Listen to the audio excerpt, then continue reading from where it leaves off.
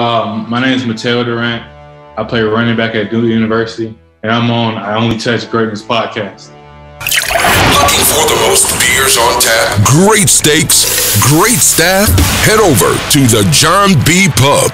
We got the best beers, steaks, chicken wings, nachos in town. Come see us at the John B. Pub. The John B. Pub, the best bar in town. Come sign up for our football pool. Say hey sent you. Turn it up. The number one sports podcast in Vancouver with Ryan Hayes and Big Mike. Ryan Hayes and Big Mike are taking over the podcast scene in Vancouver. Get down or lay down. Lay down. Lay down. holds Durant to no gain or a loss of one rather, bringing up second and 11. Holmberg quickly to Durant, has space and some blocks. This time. Durant comes off the tackle. There goes Mataeo Durant. Duke answers. Touchdown, Blue Devils. Says Ezekiel Elliott's his favorite player. A little bit of shines of vintage Zeke right here, getting through the hole, keeping his feet moving, get into the end zone, young man. Here's that tempo. There's Mataeo Durant. Ball over. And just like that. Holmberg out of the shotgun. Give it to Durant. And he gets in. Touchdown, Duke. Let's go down to Bridget. Bridget. Yeah, Gunnar's mom, you just talked about. We told you earlier those tough times. I'll let you take this one, Matt. Might have been too far outside. A lot of contact though. So third and eight. Quick throw to the outside to Mataeo. Makes a couple of men miss. And he's going to move the chains for a first down. Reams on the tackle that he didn't use because he went right to the pros from high school. He's now on the golf team at North Carolina A&T as Mataeo Durant pushes forward for the first down.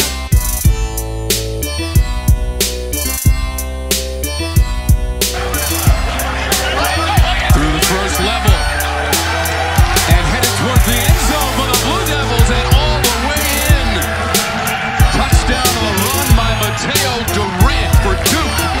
Get Luca blocked and got Richardson the middle linebacker blocked, and all of a sudden you're in the secondary if you're Durant, and you see the great speed. He shoves it in the end zone. Losing the ball a bit. And three of eight on third down.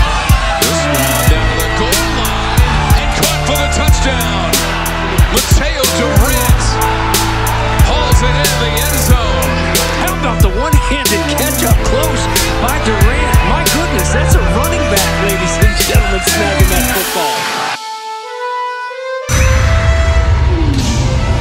football. All right. Uh, so Mataeo, uh, born in Plum Branch, South Carolina. Uh, tell us a little bit about childhood and uh, when did you start playing football? Uh, childhood was really fun, you know, growing up around family, small town of about, you know, 87 people, which people don't really know or realize how small the town is. And when I tell them, they never really think it's true. Um, and I started playing football. My first game was all right. I was like nine years old. And I've always been a football fan growing up. Uh, I lived around the Georgia, South Carolina border. So, you know, football in the South is huge. And just growing up, I've always, uh, always was just rooted in football. You know, uh, a lot of my cousins play football, really good football family. And, you know, that's how my love of the game has grown. Okay. Do you play any other sports growing up? Yes, sir. Uh, I played basketball, ran track, uh, thought about baseball, but I couldn't do it just because the ball, I was just afraid of the ball, ball coming too fast at me. So wasn't ready. That's for sure. I, I mean, I play a little bit of beer league softball and stuff, and I gotta go hang out in the outfield because I don't want to be standing in the infield where that ball's coming at me while I'm not paying. That's what I'm saying. Yeah. This is what I'm saying. Put put me Uh, as, put me as far away as you can from the ball. Exactly. Uh, any nicknames and what's your favorite jersey number and why? Is it number 21? Uh, you see, I, initially, you see, uh, I started off wearing number 11 when I was younger. And then it went from two because I loved Cam Newton. And then it, after that, it went to three. And then, like, when I was an all star, when I played all star football, uh, my number was number nine because I was a big Cowboys fan. You know, Tony Romo, one of the biggest Cowboys, you know, I had to get the number. But now, you know, uh, one and three coming to college, couldn't get it. So, you know, I got 21. Two plus one is three, so you know it figured itself out. There you go. Right on. I like it. I like it. 21 looks good on a running back's jersey too. I feel. That's what I'm saying. Yeah. That three, that the three was gonna look smooth too, but I just couldn't get it. Yeah. I mean, it looks good on Zeke, that's for sure. Oh yeah. And what's the uh, one thing you're trying to accomplish this season? Uh, you know, I just want to win as many games as we can. You know, coming here, you know, the, the goal is to win, get better as a person, also as a player, and develop. But I want to win the ACC championship and want to compete for a national championship like anyone else. So right now, you know, it's early in the season. Our goals are are still ahead of us, and that's what we want to accomplish. Good. Uh, who would you say you mirror your game after or try and play like? I don't, I don't, I don't know. My game is like very unique. I would say, you know, uh, I would like to be, you know, an all-around back. You know, uh, one who can pass, block, catch, catch the ball at the backfield, and lay to run between the tackles. So I don't really think I uh, mirror my game after anyone. I just feel like my running style and my body type is very unique for the position. Yeah, I see a little bit of Nick Chubb in you. Oh, you know, growing up right there, you know, we, my family were UGA fans, so I definitely see that. Okay. Okay. Okay. And, uh, um, great. Go ahead, Ray. Is there one aspect of your game that you're trying to improve on? Uh, just my, con- you know, conditioning, being able to play every down as hard as I can. You know, whenever the team needs me to be in, this, this conditioning. I feel like as a football player, you know, I think we pride ourselves on being able to go first, second, first quarter is hard. We first, set first, like we did third, all that. So being able to play four complete quarters as conditioned as possible and at the best shape of my life. That's, that's definitely good. Uh, great junior season and uh, MVP of the team in 2020, and now on an absolute tear to start the season. Uh, six touchdowns and leading the NCAA, 296 rushing yards in two games. Uh, what do you think the differences were in your game from last year to this year, and uh, what did you improve the most? I think uh, I would say one thing. You know, now uh, being the lead guy, one of the leadoff guys, I feel like it's giving me more opportunities to run the ball, and it's also helped me be more effective. And uh, what's the other question you asked? Just uh, like what what what do you think you changed from last year to this year uh, to put up bigger numbers? Uh, I don't know. It's just like you know, just being out there. It's just just having the opportunity to play the game that I love, knowing that it's my senior year, and knowing that you know this may be the last year that I'm able to play like college football. So, you know, I just want to go out there and compete to the best of my ability and give my teammates everything that I have in me, and not just you know leave anything, not leave everything on the field, and just give them everything that I have. Okay. And what's one strength that makes you a good athlete? Uh, oh yeah, I talk I talk about this all the time. I feel like my greatest strength is just uh, my confidence. You know, having that confidence to do whatever you do, whatever you think you do on the field. It makes you do like make you do things that are unconscious to you. Just being on the field, it just feels like you're blacked out, you're in your zone, and no one can stop you. That's one thing that I feel like a lot of a lot of top flight athletes have is just that that high confidence level, which makes them some of the greatest. Okay. Uh, do you have any pregame routines or rituals? Uh, I would say I do. I listen to the same two songs all day. Uh, sleep on the same, come in the hotel room, sleep on the same side of the room as I do before every game. Uh, go out, throw the ball around with the same teammate I have been since I've been here. I just feel like more than it being a ritual or something, it just just has become like important to me to do that and just appreciate the small things that I've had to do like throughout my whole career.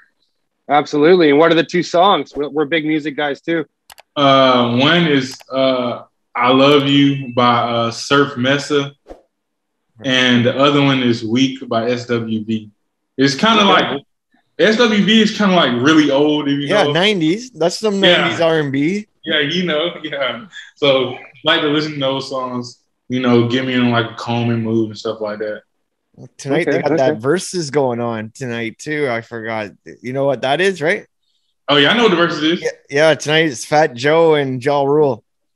Oh, that's, that, that should be a good one. Yeah, and 50, Oh, yeah. 50 Cent's supposed to show up there to uh, bully Ja. We'll, we'll see how that goes. Yeah.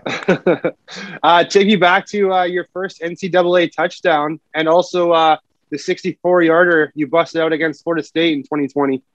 Oh, uh, first NCAA touchdown against North Carolina A&T. Uh, I was so excited. You know, the play. I don't. I don't even remember the play was designed to go to me because we talked about it. It was like you know we've never scored like on one of those type of routes or whatever. So it was just fun to go out there. You know, get the ball in my hands, score a touchdown, hold families in the crowd, and just get in the end zone, like celebrate. Like you know, I'm not a real big guy on, like celebrating after touchdowns or whatever. But like the excitement I had during that point, knowing that you know it was going to be the beginning of like something very special, I took pride in that. And also that Florida, uh, the Florida State touchdown, uh, it was just. I'm glad I got that touchdown in that moment. It helped spark the team a little. Um, you know, I just seen the hole hit it, had the all running man. I thought he had an angle on me, but luckily, you know, had enough speed to get around him. What are some of your hobbies outside of sports? Oh, well, I like to hang out with my friends a lot. When I'm back home, uh, I like to go fishing. You know, I'm a country boy, so Yeah. fishing is fun. I used to ride dirt bikes a lot, but my mom took those away when I was in high school because she was like, they're not safe or whatever. Don't want Uh, you get don't want you getting injured and shit. yeah, that's that's how it is. Uh, love watching movies and uh, playing games and stuff. Okay. Uh, if you had if we if you had a dinner party and you could invite three famous guests, dead or alive, who would you invite? Uh, I'm inviting LeBron because he's my favorite player. Dave Chappelle. Sweet. It's a good one. Dave Chappelle, funny. Uh, mm, one more, one more. I'm a. Ooh, I don't even know. I'm a. One more. If I had to say something, I'll say Ezekiel Elliott just because. No, no, Cam Newton. Cam Newton. Okay, okay. I like it. I like Cam, it. Cam, my favorite football player of all Think time. you, you think he ends up in Washington here now with this Patrick injury? I hope he. I hope he ends up in Dallas. Oh yeah. I hope Yeah, he ends up in Dallas. Okay, okay. You, uh, you, I'm guessing you don't have the the dress code like him though, eh? Nah. That's different. He different. uh, what's your favorite road stadium you've played in so far in your Favorite career? road stadium. It. I would say my favorite and most lively is definitely uh Virginia Tech. Okay. Virginia Tech and UNC my sophomore year. Those Okay, okay. those two environments were the craziest I've ever been. And what's your dream stadium to play in? Uh, every NFL stadium. Yeah. For a long, for a long time. yes, sir. Did uh, did you get lucky enough to play in the Raiders Stadium last year? I know a couple other guys in the NCAA. Uh, you said Raiders? Yeah. Vegas. Nah, we uh the only NFL I've played in the Pittsburgh Steelers Stadium, Okay. uh, the Miami Dolphins Stadium, and uh, I think I think that's it. Those are only two I've played in. Okay. Okay. And um, do you have a favorite sports movie? Favorite sports movie? Uh, ah, the I think it's the comebacks. Yeah, yeah, that's a good You know one. About? The crazy Yeah. movie. Yeah. Oh, the comebacks and uh, Waterboy. Sweet. Okay. Okay. Good choice. Good choice. Uh, you're the, you are the first uh, ACC player to rush for three touchdowns in consecutive games since uh, Clemson's Travis Etienne in 2018. Uh, what's it like uh, having your name up there with someone such an elite at- athlete? Uh, I think other than me personally, it just goes and showing how well our offensive line is blocked. You know, uh, we have a lot of depth in the offensive line, a lot of guys we can rotate in and out, a lot of experience, and it just goes to show uh, how much trust that the coaches put on me to uh, make those plays, those pivotal moments in time. What uh, What are you majoring in? Uh, majoring in psychology, minoring in uh, sociology, and cultural anthropology. Okay. You Okay. got any hidden talents? Hidden talent. Uh, nah, man. I don't think I got any hidden talents.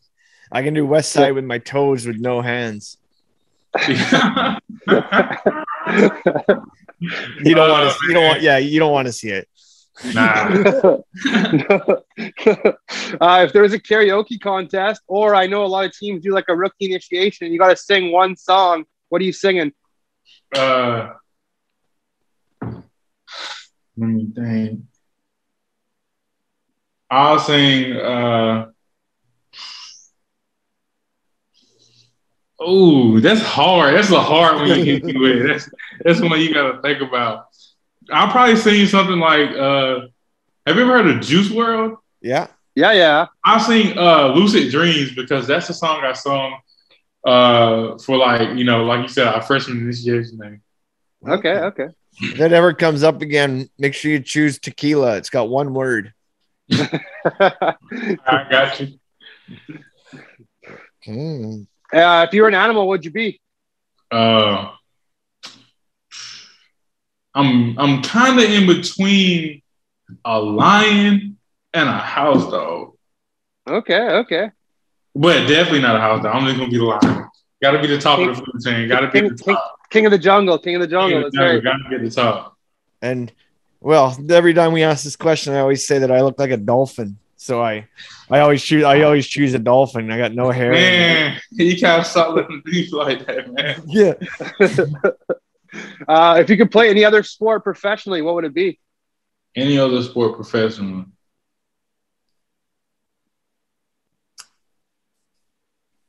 I wouldn't. I'm not gonna say basketball because everyone says basketball. I would definitely, if I started early, I would definitely try swimming. Swimming, Okay, okay. Yeah, I always choose wrestling for that. I'd love to be a WWE wrestler or AEW or yeah. Uh, what's What do you, one- uh, what what is one important lesson you've learned from uh, your time so far being a college athlete? Uh, it's the difference of like I thought I thought about this like a while ago. The difference between waiting and being patient. Like a lot of people that wait, they're just there, you know, waiting their time to come. They're not really doing much. They're just literally waiting for the opportunity to come. But being patient is just you know preparing yourself physically, mentally for the opportunity to present itself. And it's going in and taking the time just to understand that you know not everything's going to come easy to you. So patience is key, especially being a college athlete and coming in that first year being a freshman. And what do you think a good coach? What do you think a good coach needs to bring to the table? Uh, just being there for his players and like I have phenomenal coaches. You know, these are some of the best coaches I've ever had. They're always there for us. They make sure we're disciplined, conditioning, uh, and they drop like a lot of knowledge on us about the game and outside of the game, which is something that's very important. Okay. And uh, if a GM or a scout were to ask, uh, what do you, what, how would you describe your game or your playing style? Uh, I would say it's unique, it's different. You know, uh, I'm a downhill back. I'm elusive enough to make you miss. Got a lot of speed to outrun the defense. And uh, overall, I'm just a, a well put together back who can make a lot of plays in different um in different aspects of the game. Yeah, you got some good hands too for a running back. That's for sure. Hey, hey, every every year I've tried to improve on you know catching the ball in the backfield, and you know uh, the good good thing is that you know that the work I've done is showing up in this evidence. And what's the best piece of advice you've gotten recently from one of your coaches? Uh, uh, trying to think. Could be it could be any coach. Oh, any coach, uh, one of my coaches. Uh, just effort. You know, effort is the main thing that makes players great. If you don't show effort, you really won't get nothing out of it. Like I said, you know, you get in what you you get, you get out what you put in. So that's one thing you know that my coach has talked to me about. Okay. Hey, Mataeo, uh, I just want to thank you very much uh, for taking the time for us today and coming on and chat with us. Uh, we're big fans of you, obviously, and uh, we can't wait to see you strive in your career. You got fans in us for life. That's yes, sir. Thank you. Hey, anytime y'all want me on, just let me know. Yeah, we do all the time. Like I, especially when you're playing on my fantasy roster in a couple of years, I'm gonna, I'm gonna, I'm definitely gonna need the inside scoops. That, Looking for the most beers on tap? Great steaks, great staff. Head over to the John B. Pub. We got the best beers, steaks, chicken wings, nachos in town. Come see us at the John B. Pub. The John B. Pub, the best bar in town. Come sign up for our football pool. Say hey sent you.